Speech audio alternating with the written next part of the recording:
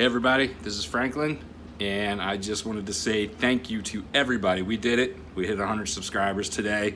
Um, can't tell you how much we appreciate it. When I say we, we're talking about me and, and Mrs. F, but it was a pretty cool milestone. I know everybody started out, and it's like you kind of don't know if you'll get any real momentum, but it's been really picking up slowly but surely and really exploded this last week. So thank you to everybody. There's so many important people that I will be thanking in separate shout outs in the next couple of weeks. So I don't want to take much time now.